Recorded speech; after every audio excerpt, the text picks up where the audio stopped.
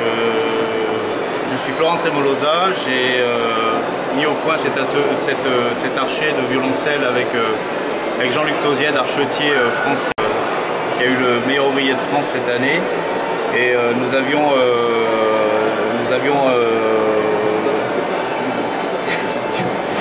nous avions espéré faire un archer autre que, que, ceux qu'on voit habituellement. Euh, le but était de, faire quelque chose de luxueux tout en restant dans les normes de l'archéterie euh, traditionnelle avec le poids, l'équilibre.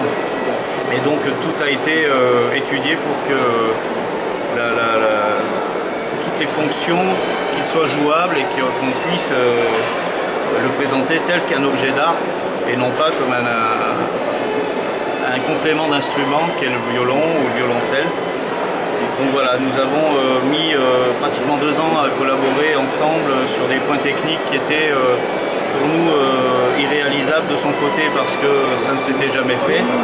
Et pour nous, des aspects techniques qui étaient très très pointus. Et donc on a réussi quand même au bout de, deux ans à créer cet archer qu'on a appelé le souverain qui est, qui est en or rose tout ajouré pour avoir euh, le poids euh, idéal avec un pavage de diamants euh, qui sont pas là non plus que pour mettre du diamant mais qui sont là, qui sont étudiés en fait le diamant est moins lourd que, le métal. Donc ils sont là aussi pour équilibrer l'archer. Et tout le reste bah, est en, ébène, en or blanc, en or rose. Nous avons pu faire donc cette cage et donc c'est pas évident. Euh,